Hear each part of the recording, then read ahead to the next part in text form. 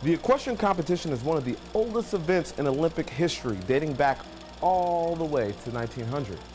But it disappeared for a short time due to the horse crisis of 1904. Don't write that down. The horse crisis of 1904 is not really a thing. The competition is broken down into three disciplines. Dressage, where the horse and rider execute a series of predetermined moves.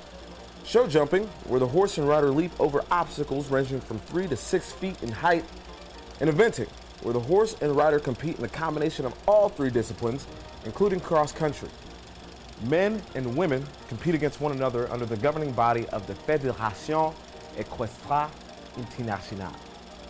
That's French, so we won't be discussing what they do. A lot of people get into riding because they love horses and they want to work with the horses. I think I got it. Oh God, don't don't. Um, but it's also it's got physical benefits and mental benefits. The physical benefits is a lot of people think you just sit on a horse and the horse does the work. But if you gallop a horse up to a three foot or higher jump, you're just hanging on with your legs. You have to have the strength, you have to have the balance, you have to have the core stability, um, as well as it's a cardio workout when you're going around on course jumping courses. Give him a kick. What?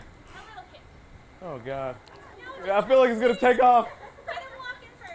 Okay. Each all right. horse is different. I mean, they're like people. That's what's kind of neat about the sport is you can be having a good day, but the horse can have a bad day, and you've got to work together in harmony.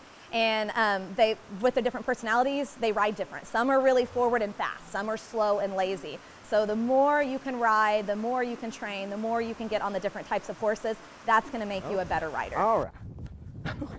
I just feel like that. How do you guys run like that? That's amazing.